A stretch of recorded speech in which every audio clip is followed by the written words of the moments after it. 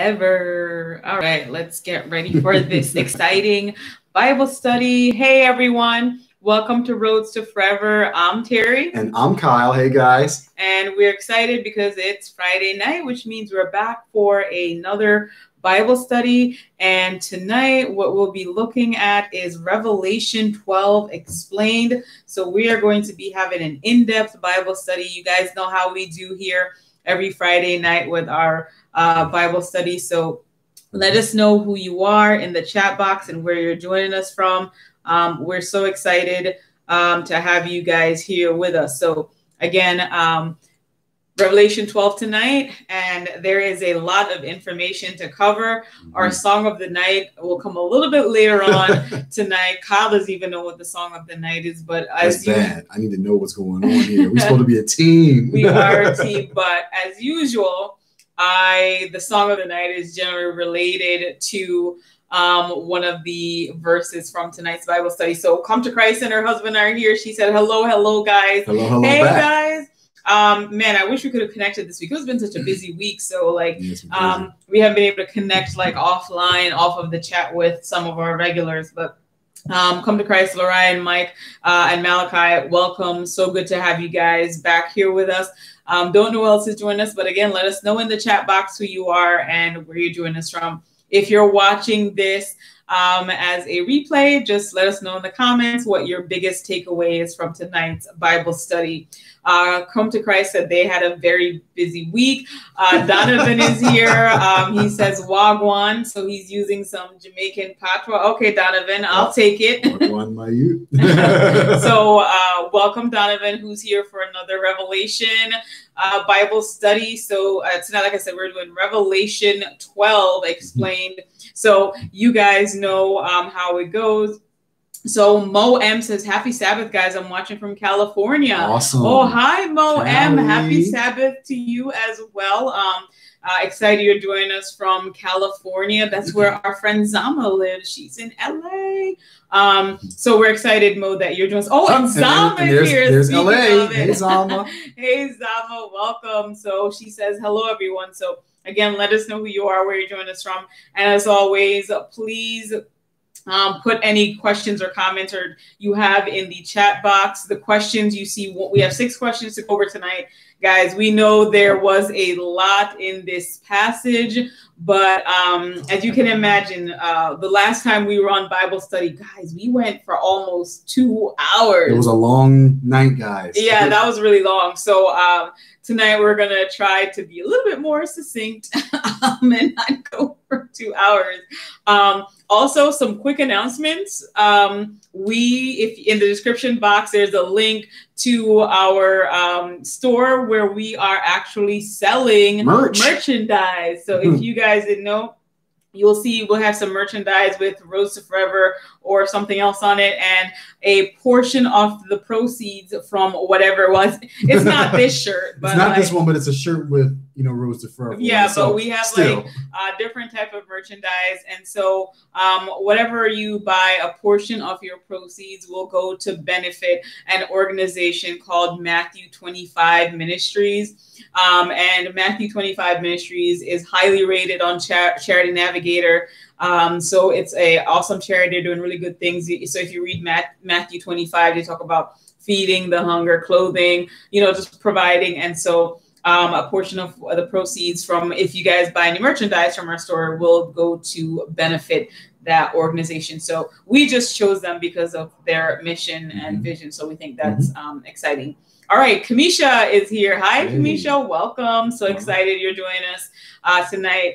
Um, so let's get right into it because there's a lot to go over. Um, guys, if we don't go through like line by line, it's because there's just so much. And, you know, uh, Come to Christ loves this part of Revelation because this is, you know, where it's it, it, it, it's it's all good, but it's like it's going, really, it's going down. mm-hmm, goes all the way down. It gets really good. all right, so uh, Kyle's going to pray us in, and then we're just going to get started with our first question. All right, everyone, let's bow our heads. Father God, we thank you for the blessing of this day.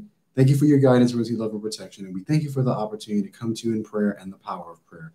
We thank you for your love. We thank you for sending Jesus to die on the cross for us and rise again so that through faith in him, we might be saved.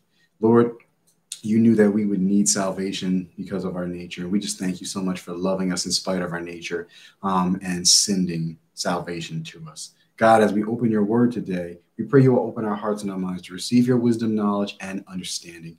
May you receive the glory, honor, and praise, and may you open our eyes and our ears to see and hear what you have in store for us. In Jesus' name, we thank you and pray. Amen, amen, amen. Amen. All right. So let's get right into it with our questions. I have them up on my phone. I should have written them out today, but yeah, uh, didn't happen. So um, Kyle is being bad. Yeah, right. Mm. so um, Kyle's going to be responsible for question number one. So you guys know how we do.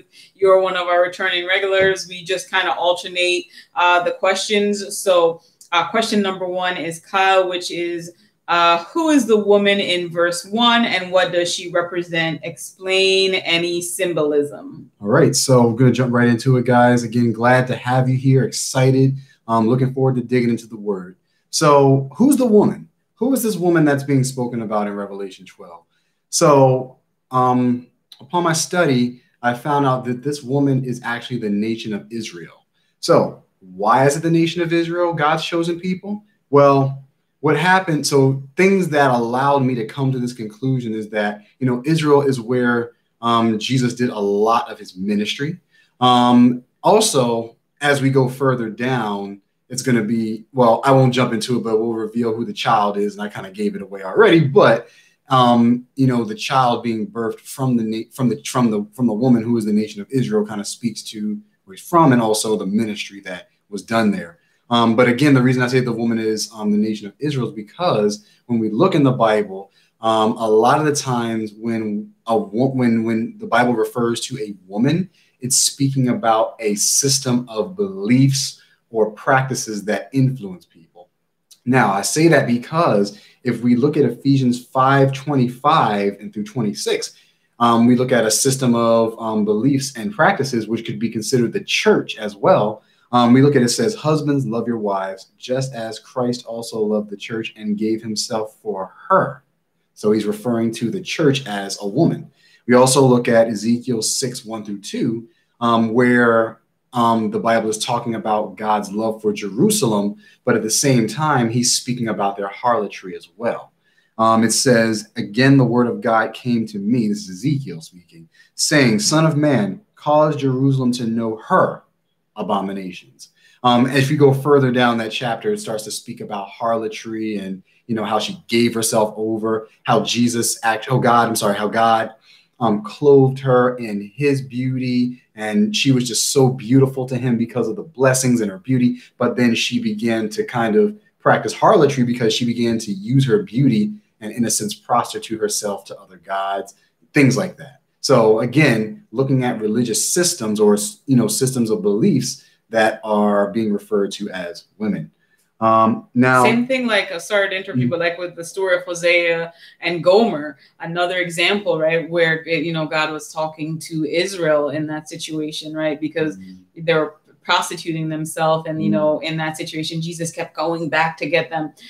I digress, mm-hmm. but that's a view, like that's the story. If you want to think about um, how much God loves you and um, you know, that he will come back for you each time.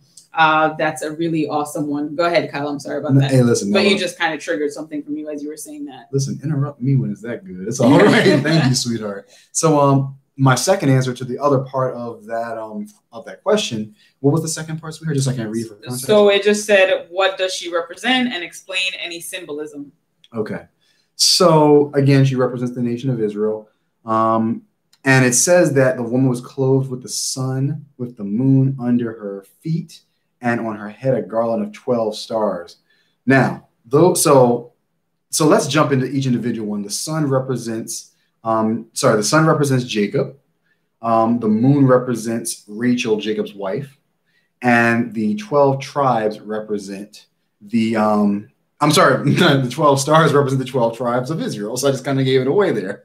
But um, if you look in Genesis 37, verses 9 through 10, it actually breaks this down for you a little bit. And I thought it was really interesting because it actually spoke directly to um, what it actually represented. So this is um, Daniel. So where it has it that it says, then he dreamed another dream and told it to his brothers and said, Look, I have dreamed another dream. At this time, the sun, also in this chapter, the moon and the 11 stars bowed down to me.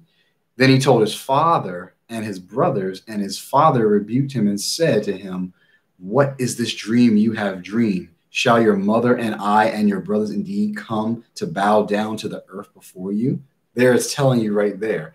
The 12, I'm sorry, the 11, and, and note that it also said here the 11 stars. The 11 stars. So where's the 12th one?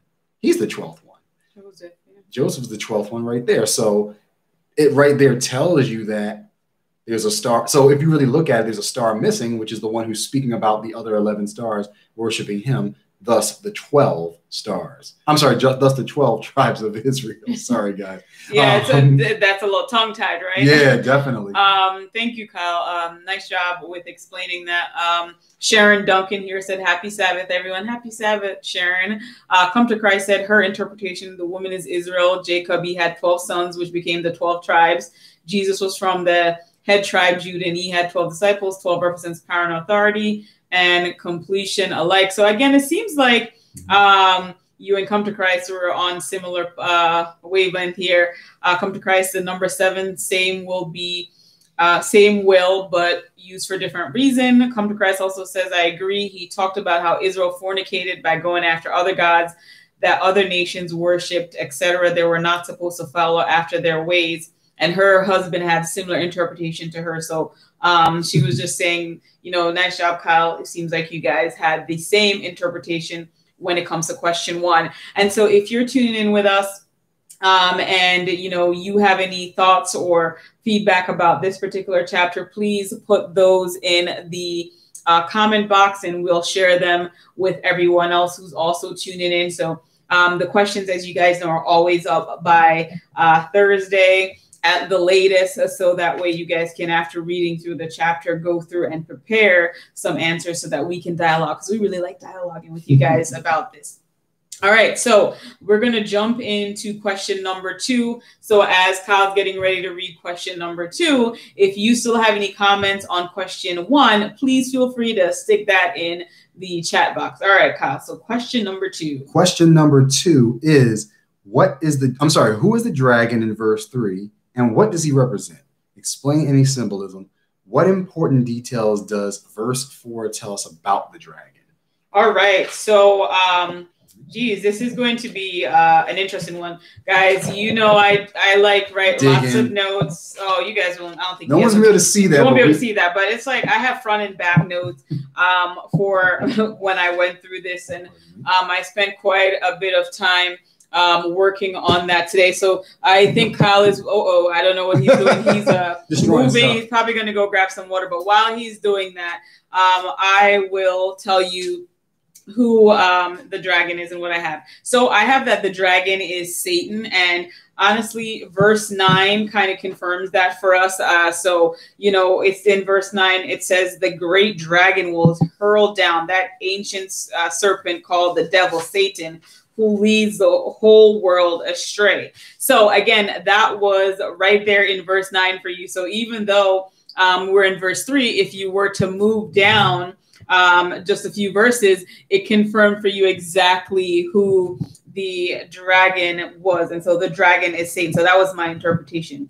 Um, what does he represent? Um, and any important details and what does verse 4 tell us? So I'm just going to go through and um, break down the different description so um, one of the things I noticed was when you were reading this verse, it said um, the sign appeared in heaven. So what this said to me was that you know this was not an actual literal dragon; it was a representation. Um, the fact that the dragon was red, when we think of the color red, we generally think you know blood, you know uh, fire. So in terms of like symbolism, and then if you were to read John 8 44, it tells us that the devil was a murderer from the beginning not holding to the truth, for there is no truth in him. He is the father of lies. So when you're thinking about the person who is covered in blood and the red representing blood, and you're looking at this verse, it's telling you that that's who um, the dragon is, and you know the fact that he's red. Did you have a point to that?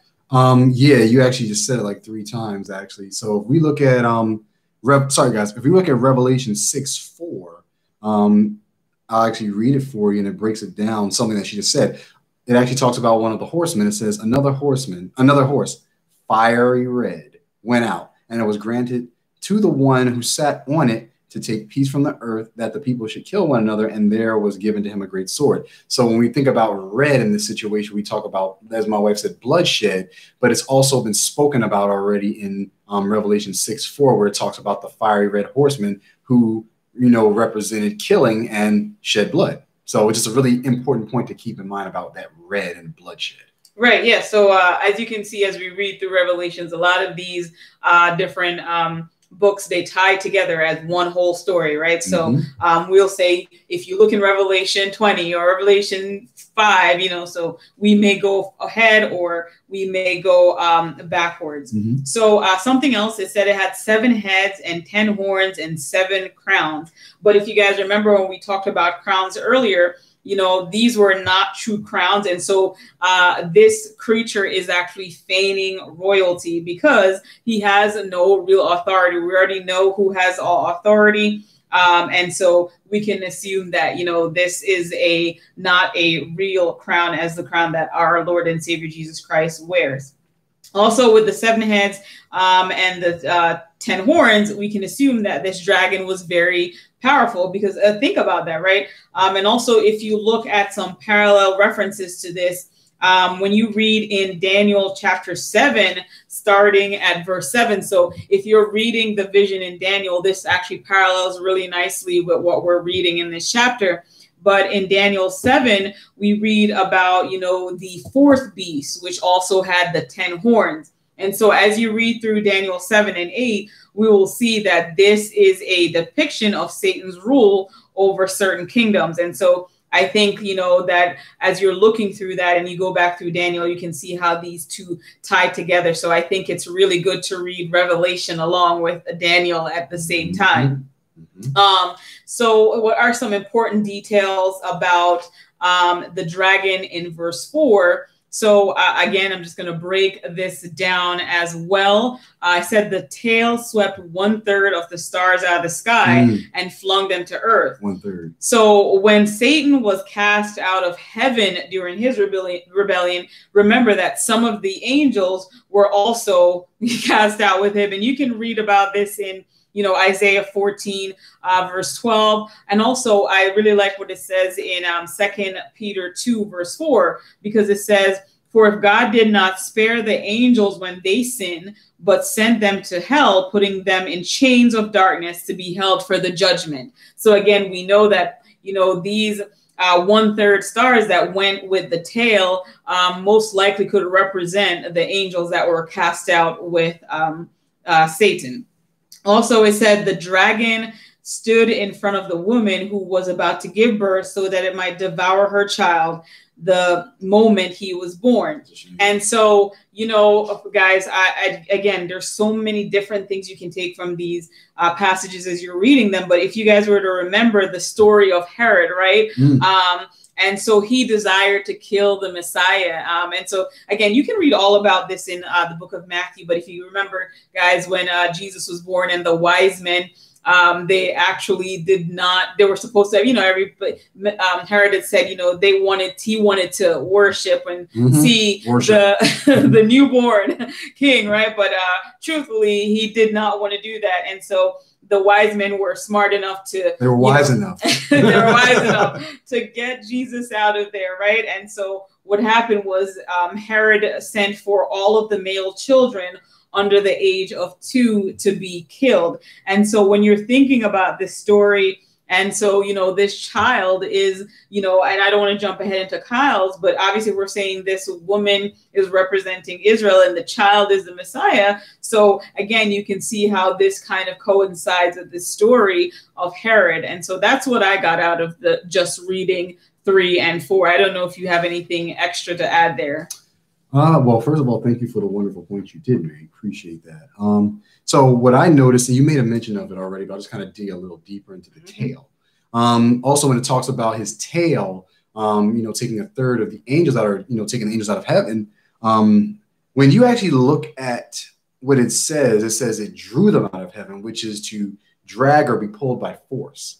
Now, um, I feel like that's important simply because, you know, when we think about force, it doesn't necessarily have to be physical. It could be mental, spiritual, emotional. It could be by deception, which is, I believe, how Satan got his armies the same way he gets his armies today. He deceives us. He deceives people to try to get them on his side, making them promises, you know, because in this situation, he was talking about being like the most high. He said, Yo, I'm going to be like God. He probably said something like, You'll rule under me, or who knows what he said. But either way, the force he used didn't necessarily have to be physical, it could be, you know, deceptive force.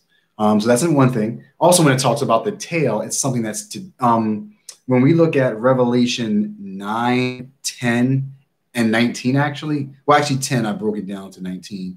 Um, it actually talks about um, the scorpions and the locusts. I'm sorry, the locusts and how their tails did harm. You know, it says, you know, their powers in the mouth and their tails, for their tails are like serpents, something like Satan, um, having heads, and with them they do harm. Now, it also says uh, they had tails like scorpions, and there were and there were stings in their tails, their power was to hurt men for five months. But again, the power that it seems like the tails have to do with some type of harm. And in this situation, when it comes to Satan, the harm done was taking heavenly hosts out of their earth, out of their out of their place, out of their out of their heavenly place. So that was harm there. Um, another thing is when we actually dig into the crowns, right? we look at the crowns that these that the drag that these different horns were wearing or whatever, it talks about the type of crown. So um, in the actually in the in the New King James Version, which is the one I'm going to be reading from, it actually talk it specifically mentions a type of crown. So if you look here, well, if you read here, what it will say is another sign appeared, the fiery dragon, ten horns and and seven diadems on his head. So diadems are a type of crown there's there's a couple of types. There's um if you're looking in the Greek, it's Stephanos, which is the crown of victory, and then you have diadema, which is an extension of this of diadem. It's actually a crown that you win through like championships, Olympic goals, like some type of activity that you're doing. Um, I brought that up because in Isaiah 62 verse 3 it says, "You shall also be a crown of glory in the in the hand of the Lord, and a royal diadem in the hand of your God. So again, it speaks to what that represents and it speaks to, you know, the power of this crown. So that's one thing I wanted to mention as well. All right, so let's go. We have lots of comments Ooh, in the chat yes, box. Yes, so uh, going back to uh, Question one, Kyle, thank you so much for those points. Uh, Zama said, I agree with Kyle. The woman represents Israel, and there are instances in the Bible where this reference is made, including Jeremiah 3, verse 20. I love when you guys bring Bible verses. So these are verses for you guys to always go back and refer to. Come to Christ says, Of course, the dragon is the devil, Satan. He represents our adversary, the great old serpent, the deceiver, traitor that only comes to kill, steal, destroy, and accuse the brethren. Amen. Mm-hmm. He struck a third of the stars, angel of God, like it states in Genesis um, chapter 6, the fallen angels, and him fell from heaven after sin against mankind and nature God created. Um, Come to Christ also says he tried to cause destruction and confusion amongst what God created to be for a different purpose. Uh, Malachi says it was seven heads and ten horns, which means it may have something to do with NATO and the world, new world order, uh, one world government. He's the ruler of the world. Hmm. Uh, Zama said, yes, the word sign indicates that it's a representation, not a literal dragon. Um, come to Christ. We have a lot of comments. They love this. Uh, come to Christ says he wanted to devour our Lord and Savior and was angry because he knew he would save us if he didn't eat him. He knew who he was and what he would accomplish. Oh. Um, come to Christ said Herod, yes, Matthew 2. She had the same interpretations that I did. Um, they did that too in Egypt, killing the newborn boys. Uh, Zama says the dragon represents a character of the one that this passage is talking about in that verse. In this case, that person is Satan. When I think of a dragon, I think powerful and scary. Um, and the fact that it has several heads indicates it has immense strength and power. Amen. Uh, Zama with those points and come to Christ as well. And Donovan says also the tail could be the lies of Satan. Isaiah 9:15 and the prophet that teaches lies, he is the tail. So Donovan, another nice. really good point. So you guys, I can tell you guys really um, you know, took a deep dive into Revelation 12 this week, and you guys came with the answer. So we are loving it. Love awesome, awesome, awesome. Um, did you have one final point before we move on to um, number three? No, I didn't. That was everything. Okay, you said you had something else. I thought with the crowns, the diadems, and well, we spoke about those already. Well, I mean, so for me, so well, something I I've noticed is that um, it looks like the difference between these crowns, like I said, you know, Stephanos is a crown of victory, um, and then the diadema is a crown that is given or that is representative of one who has conquered like the uh, crown that was worn by, I believe it was one of the horsemen um, as well. I believe mm-hmm. it was, yeah, one of the horsemen. They wore a crown. Actually, I think it was the exact same one, the fiery red. The well, the, the first, the, first, the first, yeah, it was one before that. But either way, um, when I think about these crowns, I think about what needs to be done to acquire them. Um, and when we look at the word, Jesus is actually wearing a crown as well, but he's wearing the victor's crown because he doesn't have to fight any more battles because he already won the victory, which is why he wears the victor's crown. Now, this other crown is won by conquerors. Now, conquerors are known for their constant conquering. What that means is that they have to continue producing in order to maintain the crown. So when you look at the difference between how you acquire the crowns, you can look at it and see who's already won. And if you see in this chapter or in these chapters individuals who are wearing the diadema crown where they have to constantly conquer, don't be afraid of them. Don't worry about them because we serve a God who won, who has the crown of victory, meaning that no matter how many battles are fought, he's already the victor of them. Amen. Amen. And come to Christ said, let's be the head and not the not tail. The tail. well, it does say Amen. that in the Bible, right? You will be the head and not the tail. So, uh, good point there. Come to Christ. Amen. All right, let's move on to question number three. You guys are killing it out there. So, thank you for these awesome commentary. Um, who do you think the male child is in verse?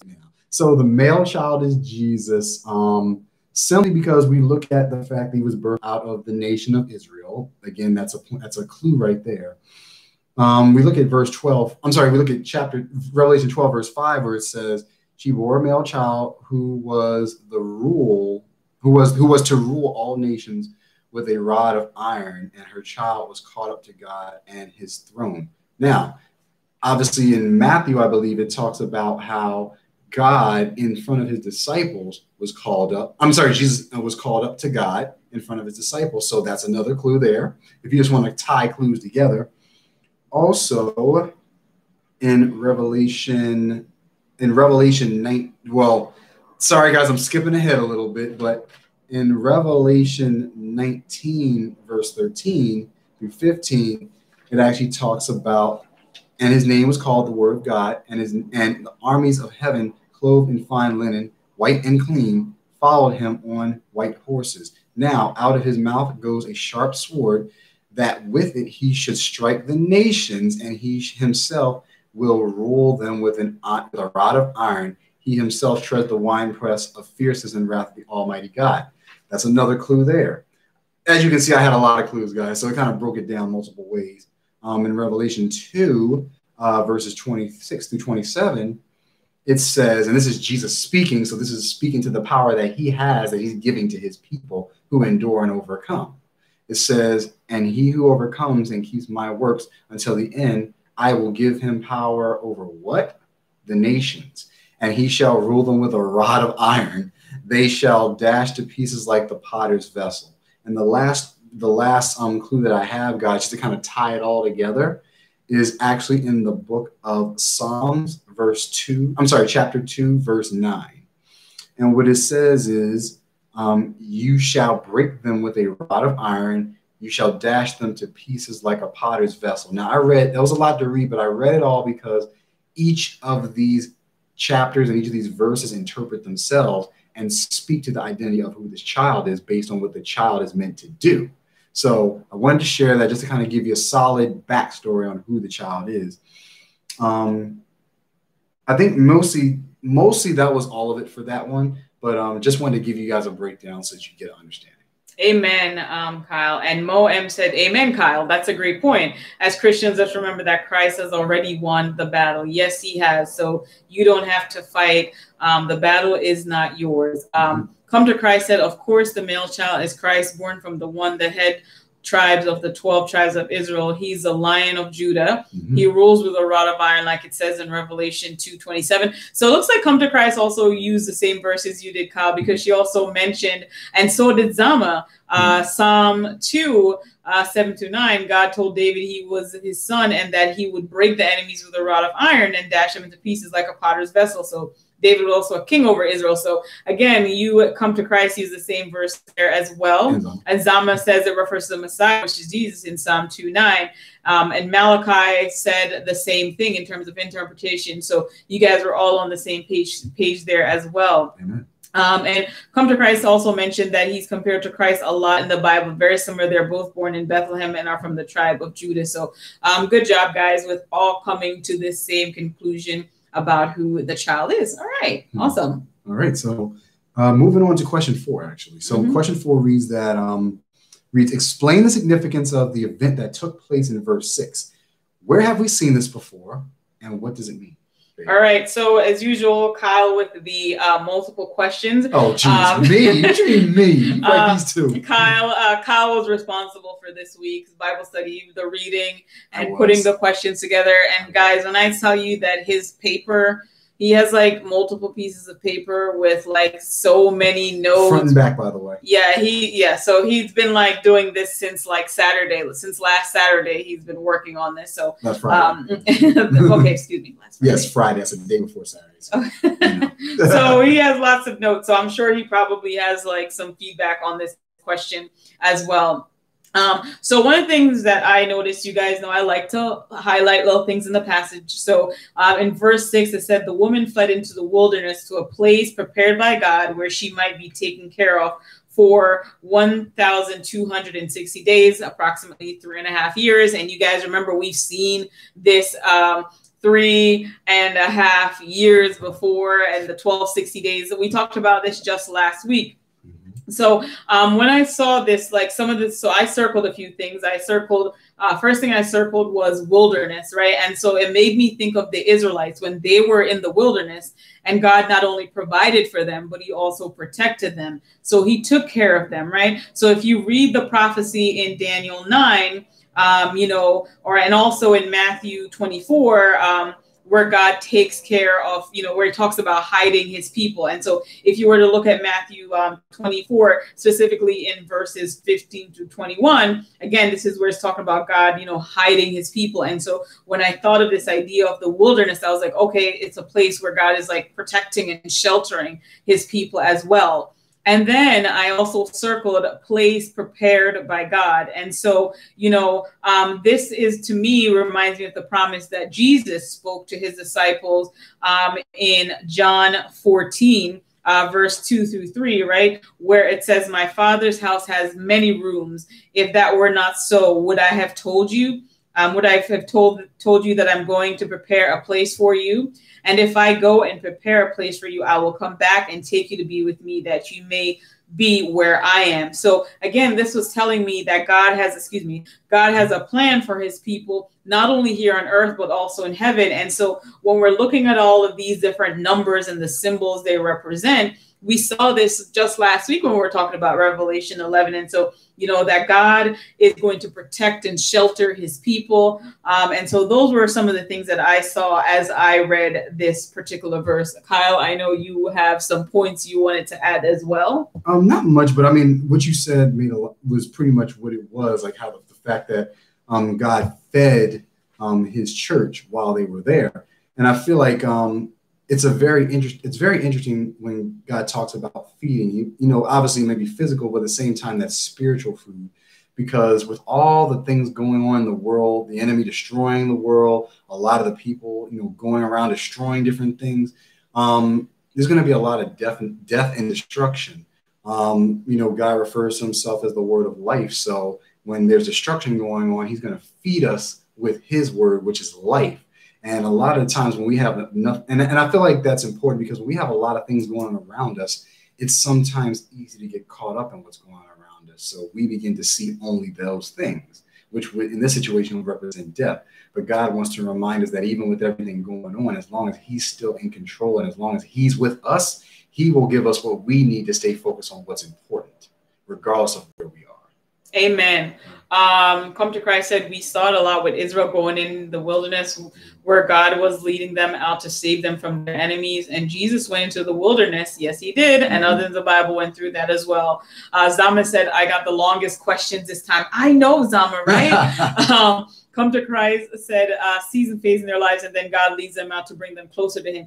Yes, come to Christ. I really time to take our little commercial break. We're not leaving, you know, guys, but our commercial break to to that point that you're saying, um, come to Christ about that. You know, sometimes when you're going through the wilderness, it's because God is leading you to somewhere better. He's leading you to a promised land, right?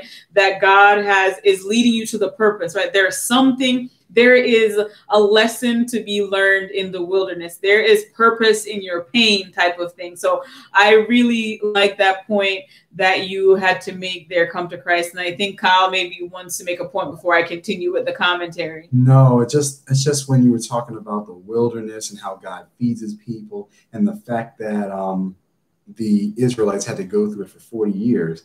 That was 40 years of spiritual nourishment. That was 40 years of spiritual maturity. That was 40 years of making mistakes, correcting the mistakes, making more mistakes, correcting the mistakes. And a lot of the times, that's what we go through. We may go through a wilderness and we may feel like God's not answering. But instead of God not answering, what God is doing is preparing us for the answer we've asked Him for.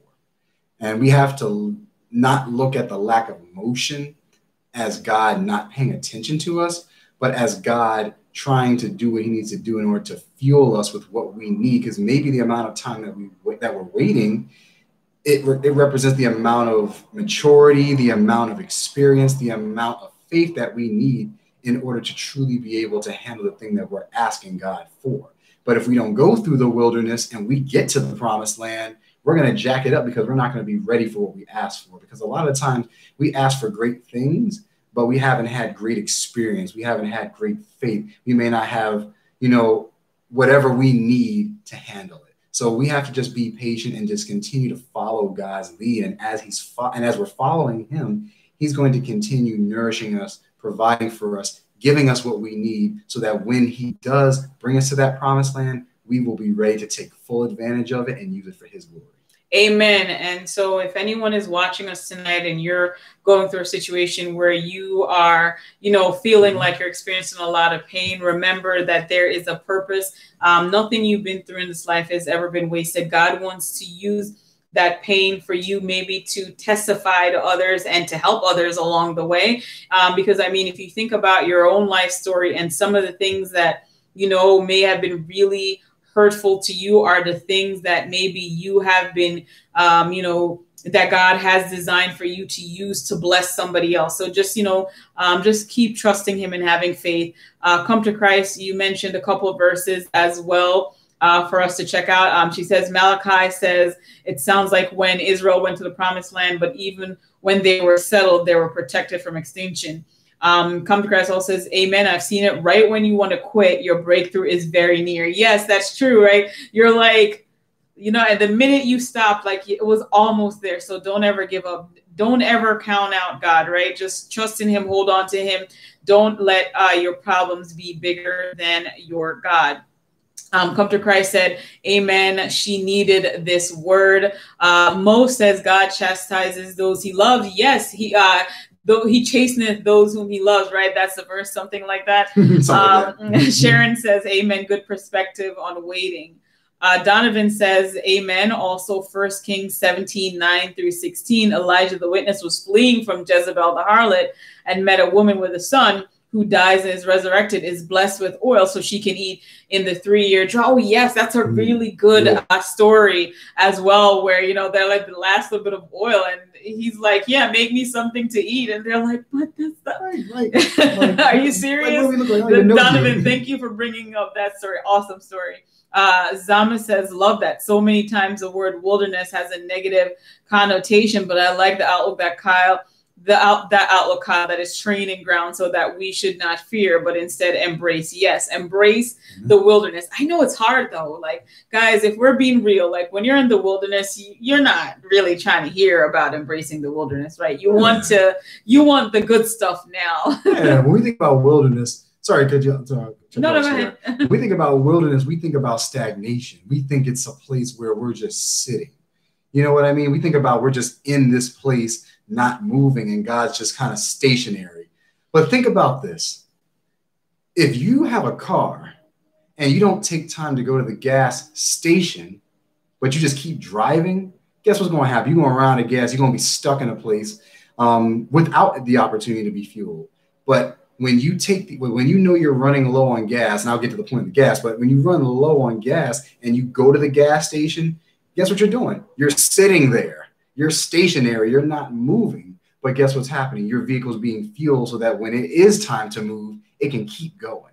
So think about it that way that sometimes the wilderness is a place for God to fuel us so that when He does, when it is time for us to move, we can keep going versus starting and stopping and never actually reaching the promise. Amen.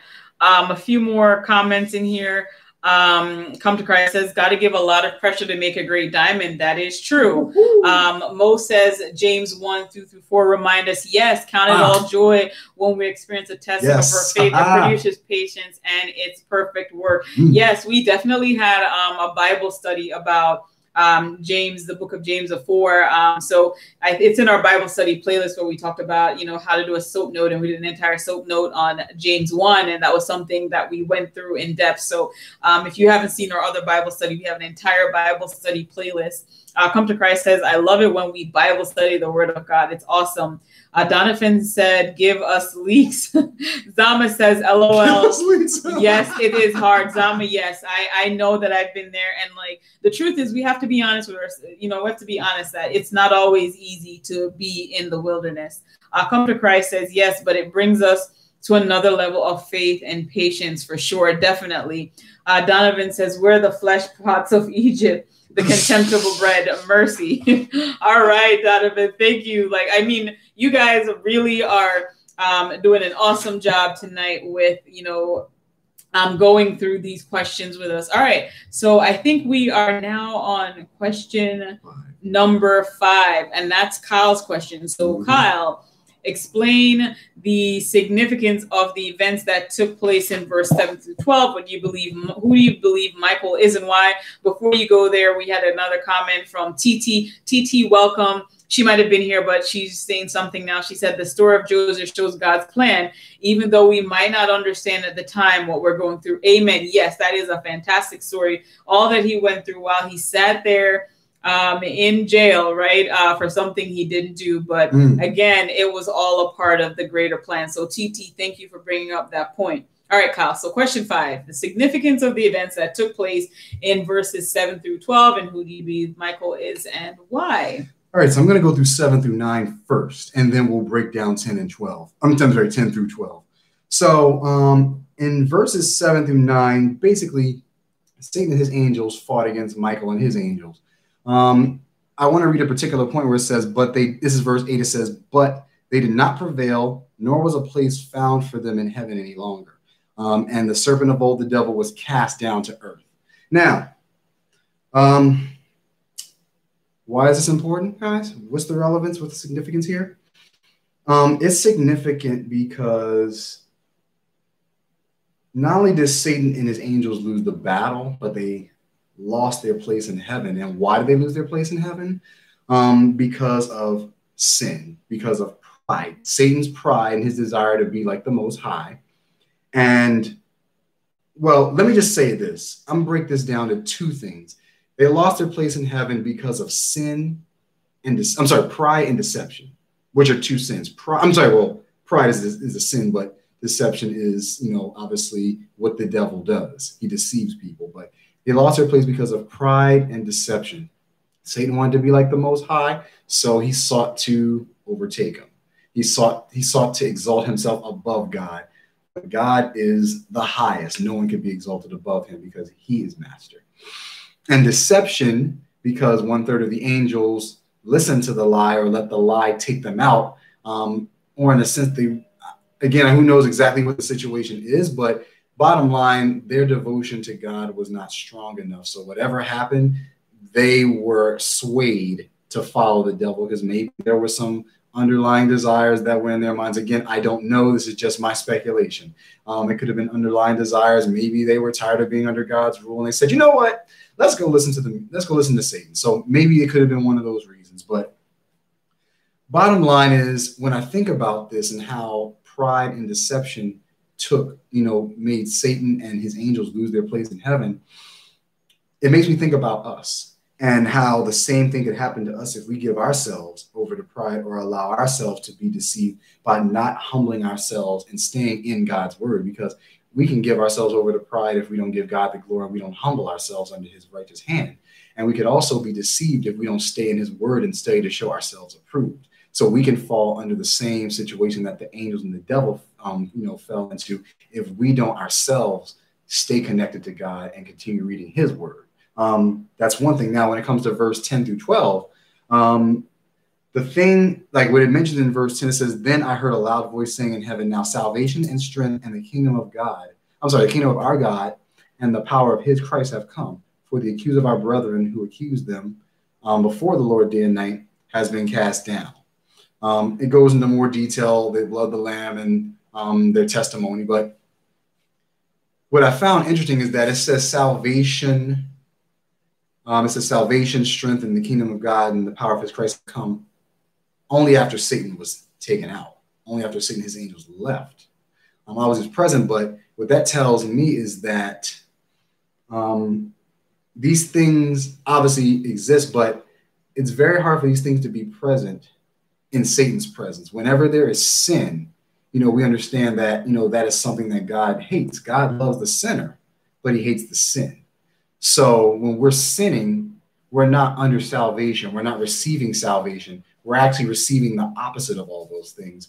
If we're not receiving salvation, we're receiving damnation. Um, if we're not receiving strength, we're receiving weakness. If we're not in the kingdom of God, we're in the kingdom of this world, which is Satan's kingdom. Or if the power of Christ is not here, then it's the power of evil that's operating. So when I look at that and it said that it came after Satan was gone, it showed me that if he's present, there's probably going to be the total opposite. So we have to we have to be willing to, you know, to eject anything that does not look like God out of our lives, so that not only can we receive well through not only can we receive His salvation, but that we can walk righteously through the blood of Jesus, um, through the salvation that has been given to us through you know the Christ's sacrifice on the cross. Amen. Thank you so much for sharing that, Kyle. Um, I, you know, as you were talking about pride, like my mind automatically went to Proverbs 16, uh, verse 18, where it says, Pride goeth before destruction and a haughty spirit before a fall. And like when you think about, you know, the fact that the Satan and his angels are fallen. And I was just like, so as you were talking about that, this was the, the verse that really popped into my head here. Um, some comments. Um, in the chat box, Come to Christ says Michael is an archangel of God. Him and the other archangels and other angels are fighting against Satan and the other fallen angels. They had no more authority rights in heaven because they used to. Uh, Ingrid says, Hi, guys. Glad I can make it. Ingrid, we're so happy that you could join us for Bible study. I know that she normally works late. So thank you for joining us, Ingrid. We're so excited you're here. Um, and then you can always uh, catch the beginning if you want to go back later as well. Come to Christ says, Work for God until they disobeyed him, his words and commands. Satan lost and didn't win against Michael and his angels' course and got even angrier because of this and deceived the world, trying to lead as many people astray from God as possible. Mm-hmm. Donovan says, Amen. Let no man take your crown. Let this mind be in you, which is also in Jesus Christ. Did mm-hmm. you want to say something else before I uh, kept going with mm-hmm. these chats? Right. I want to take a break from this, from my answer, because I know it was a little long, so I wanted to give everybody a chance to read. But yes, um, verse 11 and 12, where it talks about, um, they overcame by the blood of the lamb and their, and, and their testimony. Um, they overcame because of what Jesus did. We got that. Their belief in Jesus and what he did, and their desire to die for their beliefs. And that's a big thing. We have to, you know, be will because it said they didn't um, love their lives to the death. So we have to be willing to lay down our lives for our belief, because when we lay down our lives for our belief, we will rise in Jesus' glory. Um, also it talks about you know when Satan was cast down, woe to the inhabitants of the earth. we know what a woe represents. So woe to the inhabitants of the earth, um, because danger left heaven and came to earth. Um, and that was a huge thing that we have to really keep in mind as well. And as a result, because Satan was cast down, it also says that um, um, in verse 12, it says, For the devil has come down to down to you, you know, us earthlings, having great wrath, because he knows that his time is short. So what Satan is doing, he is intensifying the persecution because he wants to take as many people down. Well, you ever heard the phrase misery loves company? Well, Satan is miserable, okay? He's upset that his plan to be above God failed to the point where he's even lower than he was before. So, you know, he's like ready to really take his anger out on the one who harmed him or the one who he was trying to overthrow, but that ended up overthrowing him. Um, so, you know, he's going to intensify that persecution and he's going to stop at nothing to take as many of Christ's children with him as he can through deception and whatever else he can use, because again, misery loves company. Um, and just going into the Michael thing, which was already answered, but um, yes, according to Jude 1 9, Michael is the archangel who actually contended with Satan over Moses' body, actually. So when Moses died, you know, it doesn't talk about it anywhere else in the Bible, but it does here in Jude 1, verse 9, talk about, I'm sorry, Michael contending with Satan over Moses' body. It doesn't really speak about why or, you know, how this came about, but we do see that um, Michael does there's Michael contends with Satan more than once. So they they've met before, and this time he just knocks him out of heaven and still beats him. So just something to keep in mind.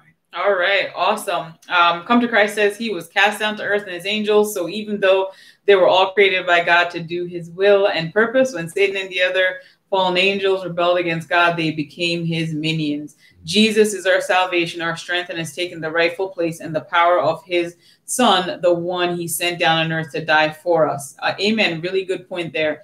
Um, also referring to Psalm 93 1 and Psalm 104, verse 1. Um, Mo says she sees a pattern in the Bible of where God has a plan or structure of how things should go. He writes his law and word, yet we choose to rewrite and disobey him because of our pride and selfishness. Mo, mm-hmm. that is such a good point. Yes, it's I like literally that right there. I think mm-hmm. I mean, everybody's just saying some amazing things but I just think it's so true. Like we try to like do things our own way, and that's where we get in trouble. It says, trust in the Lord with all your heart and lean not to your own understanding. In all your ways acknowledge him, and he shall direct your path. It doesn't say we're going to direct our own path or we're going to tell God where we want to go, and then he lead the way based on what based on our GPS or based on our trajectory. It says he knows the way. Matter of fact, it says he is the way, the truth, and the life. So if we follow him, we're going to be led in the right path because he is the truth and he, he's not a man that he should lie. Right, because we already know Satan is the father of lies. Exactly, um, liar. come to Christ said the saints, um, of course, overcame Satan anyways by the blood of the Lamb they had on them because they had Christ and by their testimony using the word of God. They love God so much. Oh my goodness, there's so much in the chat box. They love God so much enough to die for him and be persecuted for him like he did for us and be in glory with him and the Father. And so several verses, guys, tonight's chat box is on fire. Filled. It's filled. Yeah, there are so many great Bible verses that you guys are sharing that were some of the very same Bible verses that we refer to as well. So thank you guys um, just for being so diligent in studying the word this week. Uh, Malachi said, I question when this occurred. How does this work if the heavenly beings don't experience time the same way? Michael's an archangel, and in Daniel 10, we see that he's not the only archangel. Interesting point of Malachi. Um, Donovan said Satan made war with his traffic or peddling lies. Ezekiel 28 15 um, in 16, but God, um, but Michael fights lies with the word of God, Jude 1 9. So those were the same verses you mentioned. So you and Donovan were on the same point here. Yes, the word of God is powerful, sharper than a two edged sword, right? Um, Zama says, I agree with Kyle. He's furious and knows that the only way he can hurt God is by misleading his children, causing them to deny God and cause death to come upon them. Yes, guys, do not fall victim to his lies and his trap um, come to Christ says, I agree with that. Yes, I remember that story. He said, Satan, I rebuke thee. Um, TT says amen, and Zama says yes, amen. Seek he first, because guess what? Without him, we're lost. Absolutely, that's one of Kyle's favorite Bible verses, Matthew six thirty three. Seek ye first Probably the kingdom favorite. of God and all His righteousness, and all these things will be added, added unto you. you. Yes, that is a that's a verse for all of us, right? So always seeking God's kingdom first. You guys are on fire tonight. We mm-hmm. loving it. We're loving it. I smell the smoke. All right. So next, we're going to hop into question number six. Um, again, this was Kyle left all these like really thick passages for me to break down, and guys, there were so many things, but I just picked out a couple things um, from this passage. But as you guys know, there's so much um, from uh, verses 13 through 17. So he wanted me to explain any symbolism. Mm-hmm. Yes. So pretty much what happened in verse 13 through 17 explain any symbolism as you just mentioned. um, so I wrote down that they said the dragon saw that he has been hurled to earth. Okay, so guys, we've been talking about this all night. He is defeated. All right, he he has lost. There is no more. Um, he there's no victory for him. There's no uh, real crown. He has lost. He has been defeated. Right. So that's what I saw there. It says um, also said that he persecuted the woman. Right so we see that the devil decided, well, because he's defeated, what was he going to do? He was going to turn his attention to attacking God's people. And so that's exactly what he is doing in this passage, right? Um, also in verse 14, um, I really uh, like this verse um, a lot because there was just so many other verses in the Bible that I really love that also speak to this as well, where it says um, the woman was given two wings of um, a great eagle. And so if you read in Exodus um, 19, verse 4, it states that you yourselves have seen what I did to Egypt and how I carried you on eagle's wings and brought you to myself. Mm. And so this is telling us, you know, that God wants to protect us even in the middle of our trials and tribulations. Like he's telling you here that he brought them um, out on eagle's wings. And then one of my absolute favorite Bible verses, especially when you're thinking about praying for protection, um, is Psalm 91. One of my absolute, absolute favorite verses. And in verse uh, Psalm 91, verse 4, it says, He will cover you with his feathers, and under his wings you will find refuge. His faithfulness will be your shield and rampart. Um, another verse in the Bible that I love that talks about wings, and I know you guys all know this verse, and it's this verse that is tonight's song of the night, Isaiah 40 31 but they that wait upon the lord shall renew their strength. They shall mount up on wings like eagles. They shall run and not be weary right um, so again, one of my other favorite verses. So that will tell you guys that the song of the night is Fred Hammond, They That Wait. All right, so that's the song that. So add that to your list. "They That Wait" by Fred Hammond, because right here from this uh, verse. Also, I liked what it said here that they were nourished from time and times and half a time. And so when you go back to verse six in this verse, you will see again it's the same idea coming back. And also um, we can read about this in daniel 19 now um, in revelation verse 16 what stood out to me here revelation 12 verse 16 it says but the earth helped the woman and the earth opened its mouth and swallowed up the flood which the dragon had spewed out of his mouth right so there is just so much here but I think when I was reading this, what it made me think about was in Isaiah 59, verse 19. And it says, When the enemy shall come in like a flood, here's the key part, guys the Spirit of the Lord shall lift up a standard against him. And so we see here, right, that, you know, in the prior verse, it said that right? What had the enemy done? He had spewed water out of his mouth like a flood. But guess what? The Spirit of the Lord shall lift up a standard against him. So your Lord, your God, is always ready with an answer. So it doesn't matter what the devil tries to do to you, he will never be able to take you out because the Lord your God fights on your behalf and he has a plan for how to deal with him. So that was what I kind of mm-hmm. saw in this passage. Amen. Just like um, Come to Christ said in regards to Fred Hammond song, no weapon formed against us shall prosper because the Lord is on our side. That's really awesome. And it's funny. I think you took probably like five of the verses I was going to utilize, but I'm glad we're on the same page um, in regards to um, you know, you know, the Lord lifting up his people on eagle's wings and just making sure. And I think what that says is that God is going to cause us to rise above the situations that we're in. So even if you're in a dark situation, never shrink below it. Always look up to the Lord and he will help you to rise above your situation. The same way um, when Peter was in the boat and Christ was on the water and he said, Come out, Peter. Um, well, Peter decided to come out and he said, told him to come out.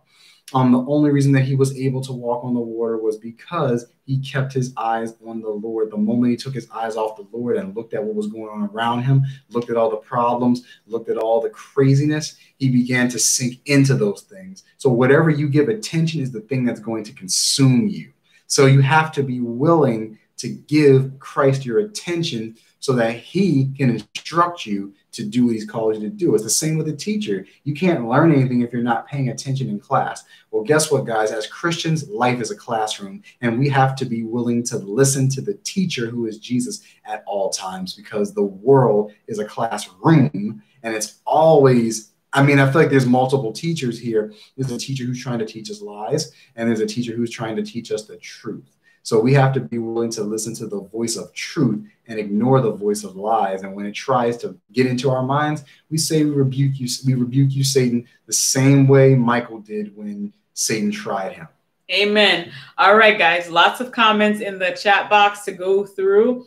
Um, you know, uh, come to Christ and, and uh, Malachi Larai had some points here that said, um, Maybe Satan saw ahead of time that Israel and many others would receive salvation from the Lamb of God. Uh, Israel was brought into the wilderness to be saved by God and nourished for three and a half years.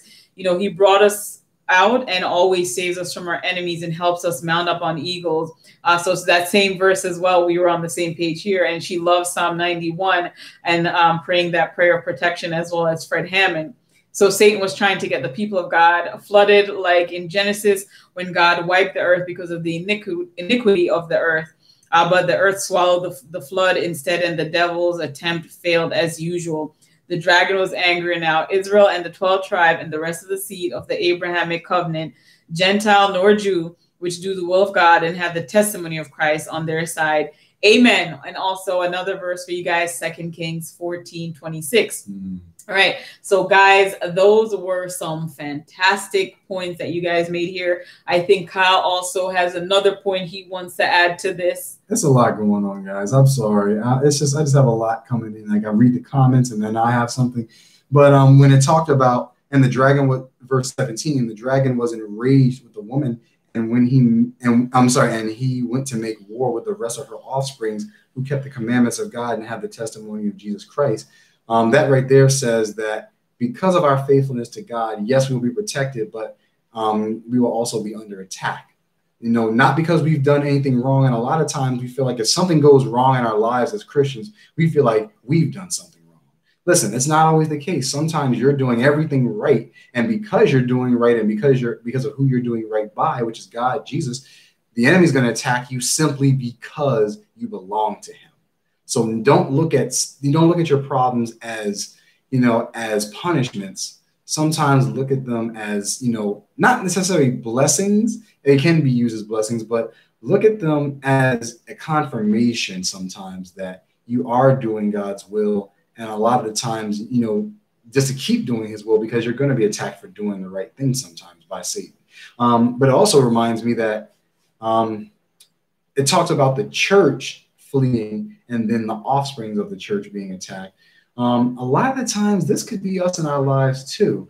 A lot of times, we may be doing the right thing, and the enemy will try to distract us by, you know, trying to go after those we love, harming others. You know, it could be family, could be a spouse, could be a child, could be whatever. The enemy can use situations to kind of go against them to get to you.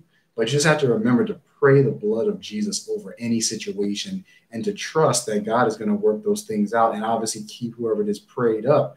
But just remember that, you know, the enemy, you know, is like a roaring lion seeking whom he may devour. And a lot of times people try to devour you by harming those you love because that's the thing that's going to get to your heart. And that's why I'm saying attacks us because, you know, you know, we're Christ, we're God's heart. So he's going to come after us or come so that he can harm him. So just remember that you know those two points there. Um, thank you. And uh, Donovan says, Revelation 12 17, remember this woman was clothed with the sun, son of righteousness, arise with healing in his wings. The Lord is our righteousness. She's clothed with the righteousness of Jesus. Amen. That, Donovan, that's a great point.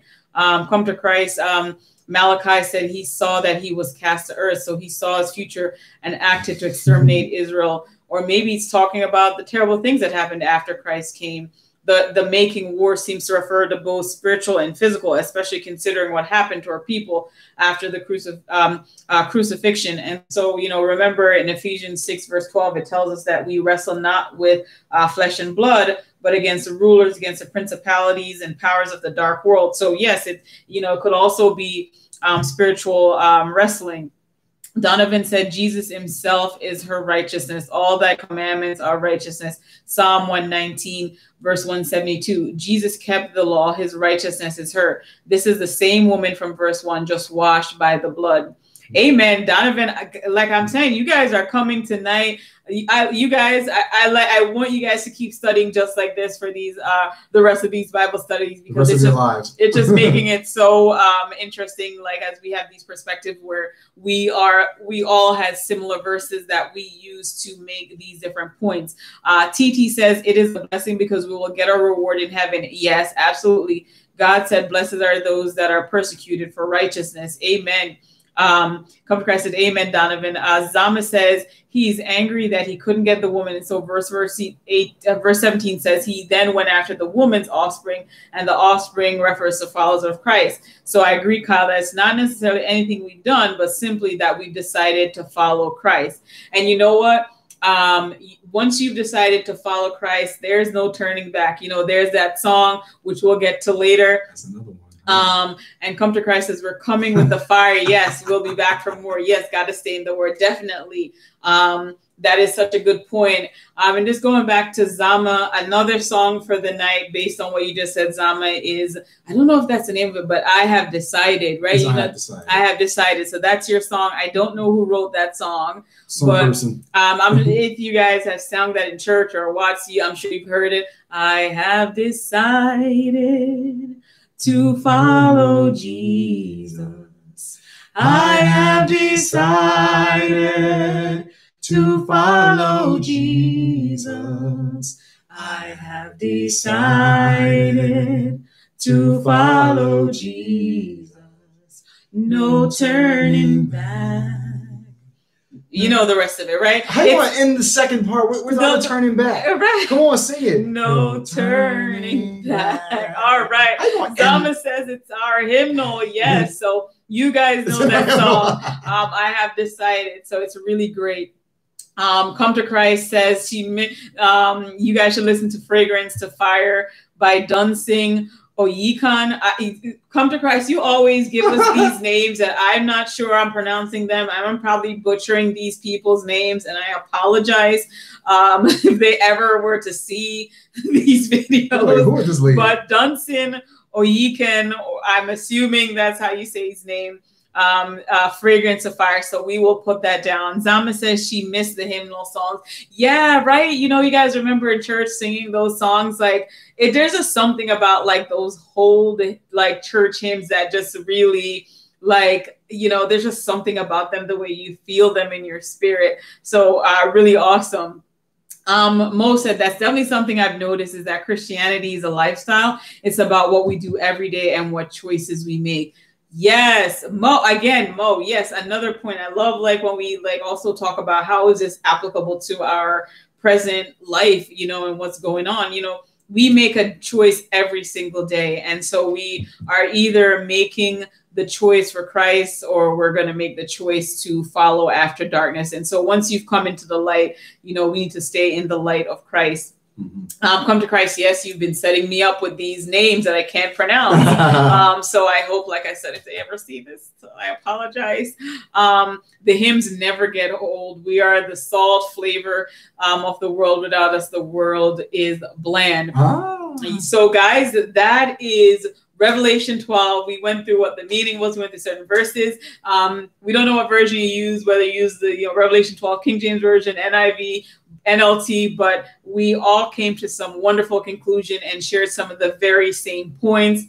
Um, you guys are so awesome, and we could tell that you guys really dug into the word, and we are just so proud um, of all of you guys like staying through to the end of this Bible study and also um, coming with you know the word that you know was placed in your heart and you know it says study to show yourself approved. And guys you know there's all we always need to study but I just feel like what we're currently going through in our world like if there was ever a time we need to be in the word of God, really like studying and, you know, talking about who we are, understanding our identity in Christ, it is now more than ever. And so, you know, you guys, we're just so incredibly proud that you guys, you know, studied so hard this week with us. Um, Next week, we will be looking at Revelation 13. Um, on by Thursday on our community page, we'll put up the questions that you guys can start preparing. But you guys can start reading now. I'm sure Kyle is most likely going to be uh, reading tonight and coming up with the questions. Um, so we're going through this entire book of Revelations, right? And so we're on 13. If you've missed one through uh, 11 so far in our Bible study playlist. You will find all of those um, different um, Bible study we've done. Or also, if you click the link in the description um, box for this video, you can find the links to all of the Bible study. We mentioned earlier that we now have Rhoades to Forever merchandise and merch. That, uh, a portion of those proceeds um, obviously, a portion goes to the church, and then a portion also goes towards Matthew 25 Ministries um, to support them in their mission to clothe and feed the hungry and those who are less fortunate. Um, so the link to that is also in the description box. Um, Rose said this was fun. Thank you, Rose. Amy Rose, thank you so much for joining us. It was a pleasure having you on here with us. Come to Christ says Revelations was definitely a great choice. Donovan says, Amen. This was a blessing. And we're going through the entire book of Revelation. Yes. And once this Revelation series is over, who knows? I was thinking I didn't tell Christ, um, tell this to Kyle yet, so um, I feel bad. I'm probably ambushing him right now. But I was thinking after Revelations, we should, you know, go to Daniel and go through the book of Daniel. I just think it just kind of makes sense, like you know. So hmm. we'll see. Um, but before we leave, we always have to close out Bible study, right? You open with prayer, you close it with prayer. Um, so uh, Kyle's going to pray us out with this Bible study. Come to Christ says merch. We love you guys. Stay safe. you too, uh, Lariah and Malachi. All right, let's close out our Bible study with the other half of this sandwich. All right. Um, Father God, we thank you for the blessing of this day and for your guidance, mercy, love, and protection. We thank you for your word and your truth being heard today. Lord, regardless of what else was heard, we just thank you for the word. Again, God, we just praise your name and we thank you for the truth. We pray that you will bless us today and that you will um, allow us to be made better because we have heard your word, because we have fellowshipped together, because we have studied to show ourselves approved, because we have taken the time to read the truth and spend time with you and your fellow believers. So, God, today we pray that in your most precious holy name, Jesus, that you will protect us from dangers both seen and unseen, grant us grace, love, mercy, protection, and honor, and most importantly, allow us to walk boldly for you, regardless of what the outcome, because we know that as long as we are right with you, everything is all right. So we thank you, God, and praise your name today as we go our separate ways, and um, but never to separate as we are spirits, um, kindred spirits together, Lord. In Jesus' name, we thank you and pray, Lord. Amen. Amen. Amen. Um, and so we want to thank all of our, you know, everyone who joined us tonight. So for who we saw in the chat box, I hope I can remember everyone's name. Mo M, Ingrid, Donovan, Lorian Malachi, Amy Rose, TTP, Zama. Um, did I miss anyone? Um, uh, I don't think I missed anyone. I said right? I said Donovan. You yes, said Amy, I, right? I said um, Amy Rose. I said Zama. I said Lariah and Malachi. I said Mo M. Um, Ingrid. yeah, I think I think scrolling up is easier. I, I TTP. I think we got everyone who was here with us tonight. So, guys, we want to thank you so much for joining us. Like I said, next week we'll be back with another Bible study, same time, uh, same place. Moem said this was, oh, Miss Sharon Duncan. Yes. Oh, thank man. you. Come to Christ, Miss Sharon Duncan. All right. So, thank you. Um, so come to Christ thinks we're funny. and uh, Mo, this was your first Bible study. Mo, wow, awesome. You know, we hope you enjoyed it and we hope you'll be back next week at 8:45 p.m. Eastern Standard Time. We're here every Friday night, same time, 8:45 p.m. Eastern Standard Time. Hi, y'all oh, Donovan. oh, Donovan, you're related to Sharon. I didn't. Ah, cool, awesome. Um, uh, but you got most of us. All right. So, guys, we hope you guys have an awesome night and a blessed weekend. Before you leave, we want to remind you you're only one, one prayer away. away. Thank you so much for watching, and we'll see you in the next one. Bye, guys. Take care. Take care. And don't forget, you decided to follow Jesus. There's no turning back. No turning back. No turning back. back.